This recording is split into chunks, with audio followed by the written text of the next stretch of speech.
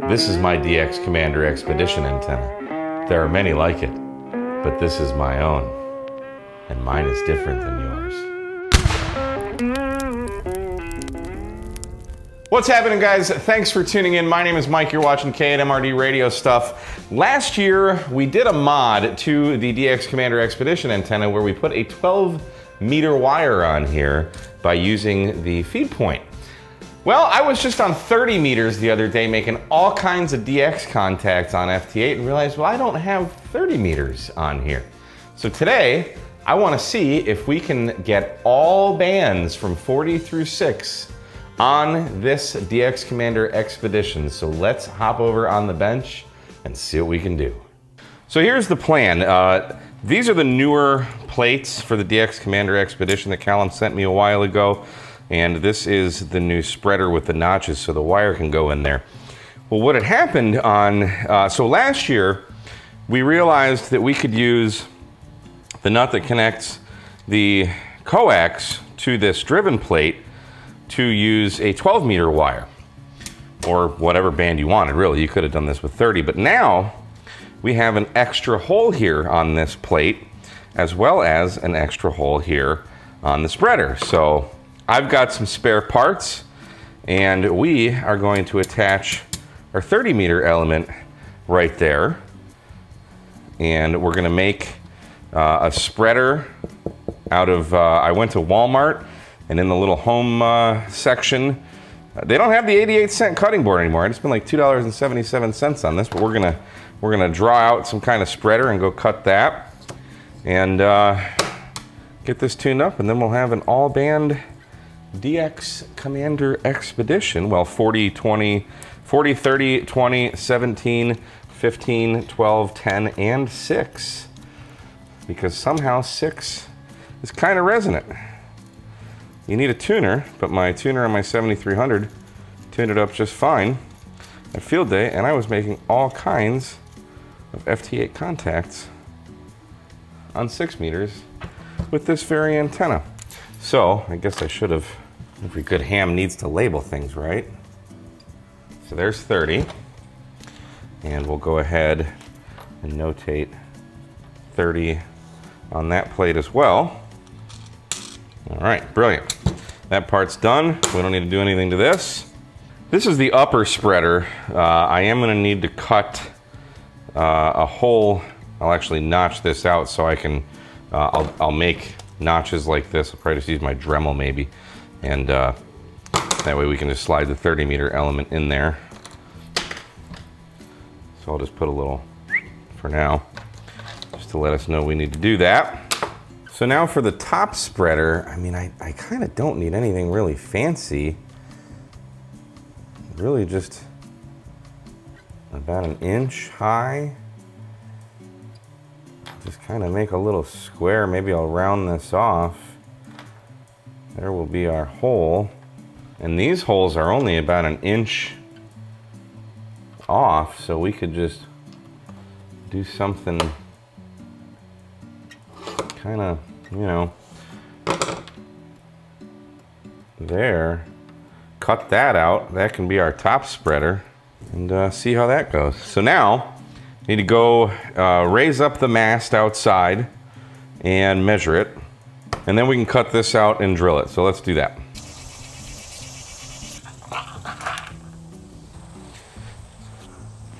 All right, so here is seven meters, and I only need to go up uh, about a foot, and I'm gonna make, you can see there's the, the next section there.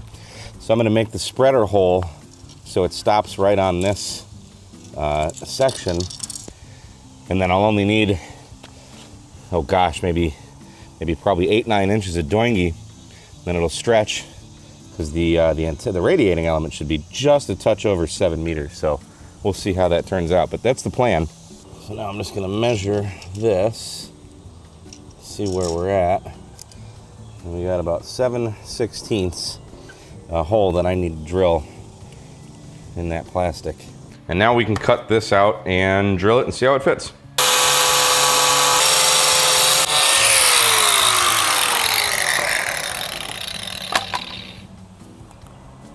Beautiful. Okay, now we need to drill a hole in the middle of this guy. So we'll use my precision eyes to gauge where the middle is, and we're gonna call it right there. All right, and this is gonna be seven sixty-fourths. God, the Imperial system is stupid. So we'll drill a little pilot hole there first. And then we will get our trusty 7, 7 sixteenths, excuse me. All right, made mincemeat out of that. And then I need to drill a couple holes to hang the doingies. Actually, I just need to drill one hole through here to pass the 40 meter wire through and another hole for uh, one of the hooks for the doingy.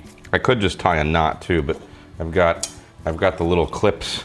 Callum doesn't really do it this way anymore, but I've already got these clips on everything else, so we'll just keep it consistent that way. So these holes that hold the clips uh, are 17 64ths. We'll drill that out. And we can just drill them both the same. Start with a pilot hole.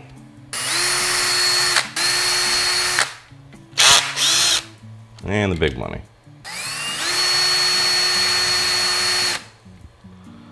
I think that's the dullest blade in the set there. All right, let's go down to a quarter inch because that is Harbor Freight drill bits for you. There we are. Quarter inch should be fine. Okay. Yeah, they're perfectly straight across from each other too, sure. And I also need to cut a hole in here and a notch, so let's do that.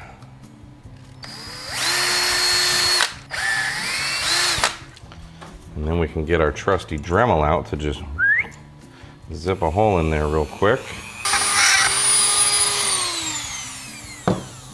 It ain't pretty, but it's honest work. Well, it's no factory cut, but that'll work. Now, we have to make our radiating element. So, uh, quarter wave is just a little bit over uh, seven meters. So we're gonna cut maybe, I don't know, longer than that. Maybe seven meters, something, I don't know. And let's go, oh, we'll have a little bit of wiggle room. I'll go seven meters, 15 centimeters. And we cut. I've got some of these beads here and some uh, heat shrink. I'm actually going to put these on before I add the uh, connector. And that way we can label what band each wire is. So put some heat shrink on here first. So we're gonna double up on the heat shrink because these are gonna act as stoppers for the beads. And then add our beads. So that way it says 30, hopefully, yep. And then we repeat this process.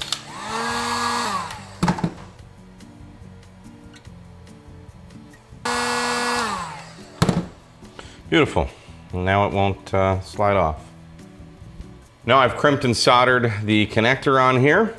And as far as making the loop, uh, typically uh, Callum sends some glue line heat shrink to make this loop, but I've found in the Texas sun, these actually heat up and uh, fall out when you need it the most. So I've got some of these wire retention clips that I'm gonna use. I'm actually gonna put these on all the elements. So I'm gonna, I'm gonna take all the glue line heat shrink off uh, of all the loops and I'm gonna put these on. But for now, we're just going to unscrew this so the wire goes in like such. Make a loop.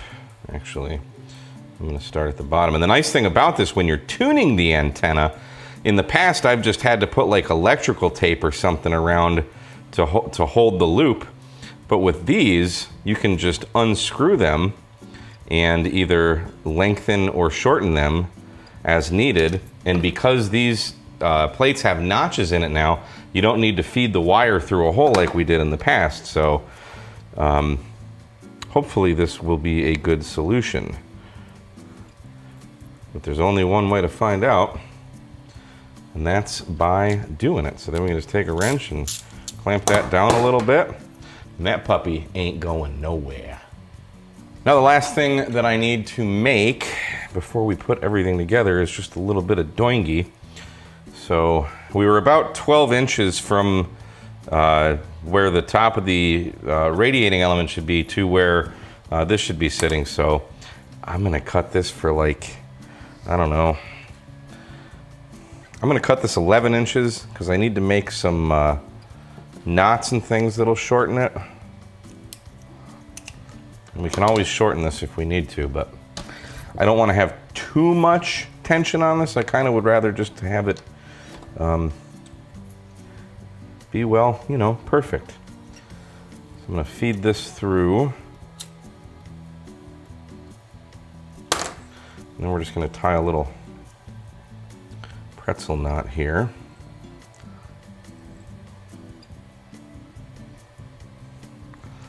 Okay, that'll go in there. And then these clips should, there we are, clip in there. And then that will clip on that.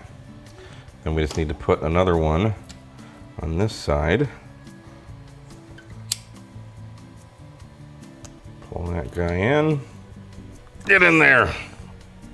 Oh, that knot's big. All right, we got it, I think. So that'll be hanging down. And then here's our 30 meter element. It'll just clip on there. And that's, uh, that's that. So now I'm to go outside, I'm to put the whole antenna together and we'll start tuning this up. Well, this could not have gone any better. all my cuts were great, all my drills were great, everything's great. So here's the base plate. Here you can see the 30 meter element, but we've got 17, 30, 20, 12, there's 10, and there's 40.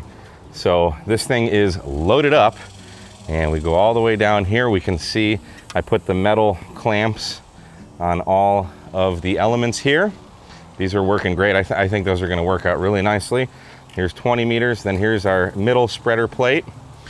And then here's where the 30 meter goes through. We can follow this wire all the way up to our little clamp there and our custom K8 MRD DX Commander spreader. Uh, the, the hole I drilled fit absolutely perfectly. It's like right on the uh, next thing there, perfect. And then it's coming, here's the 40 meter element coming down and here's where it loops back down upon itself, but uh, there's the top of it. I don't go all the way to the tip. Uh, usually that's about four inches down from the tip and I get, a, I get a really good tune there. So I'm gonna go ahead and set this up now and uh, make sure, tune everything, uh, I don't think I'm gonna film that part. And I will come back and show you on the analyzer the results of what we've accomplished out here today. All right, so after probably an hour of fussing around, taking it down, putting it up, uh, checking SWR, uh, everything's looking pretty good. I did end up taking those metal clips off of the wires and uh, I just put some zip ties on it for now. Uh, I, I, still want to find a better solution than the, the heat shrink. Um, but maybe I'll just, I might just recut the wires, some of the wires, so I can have a little bit more wire folding back to get a better grasp on the heat shrink. I'm not sure about that. Uh, if you're in northern states, probably not a big deal, but it's 100 degrees out right now. Um, so I, I'm on the fence about what I'm gonna do with that. But they, the metal definitely seemed to be reacting with some of the elements. Uh, so I, I, just went ahead and took them off. I may revisit it in the future, but uh, it is 4th of July. We, I kind of am starting to see some rain clouds in the distance, so I want to get this taken down. But uh, I want to show you on the analyzer what we got. Everything's working. I still need to do a little bit of tweaking, but let's let's take a look at the analyzer. Okay, so we're gonna hit uh, ham here. Let's go down to 40 meters. It is a little windy, so this graph won't be quite as smooth. The, the SWR does move a little bit in the wind. So there's 40, Here's 30. It's looking a little wonky. 30 is still a little long. It's kind of right there. I need to cut off probably another inch or two, but still under 1.5 to 1 where we're at. Uh, so that was the goal. And yeah, you can see as, as the wind goes, uh, but when it's not windy, it's really flat like that. So, but the dip is a little bit low. 20 meters, um, 20 meters is acting kind of wonky now. I, I, overall, it looks like I lost a little bit of bandwidth and I'm not getting a really good curve. It's not that windy yet, but uh, still pretty good. But uh, I might I might end up recutting that element. 17 uh, should look good. There we are. Yep, it's it's somewhere down there, but it's it's kind of windy because we got a storm coming in here. But 17 does look good. I promise. it's just not on camera. it's it, the dip is around there. The SWR is really low. 15 looks pretty darn good. Can't complain with that. And I do have a 12 meter element on. Yeah, it's, it's getting all wonky, but 12 meters uh, is pretty good. Even though this doesn't really show it. and 11 meters, UCB guys, not so much. 10 meters, I need to shorten a little bit. I think we lost a little bit of bandwidth on 10 meters but I'm more concerned about uh, kind of the lower portion where that is. So I'm gonna actually shorten this a little bit to move that dip down so I can get more in the FT8 portion and the, and the phone portion. And then six meters is actually not bad. We're under 3.1 across the entire band. I mean, there's all the way up in the FM portion. This is what a four megahertz wide uh, uh, uh, band. So that's what I expect. I was doing some FT8 on six meters over field day. My radio will tune it, no problem. So that's what we're looking at for now.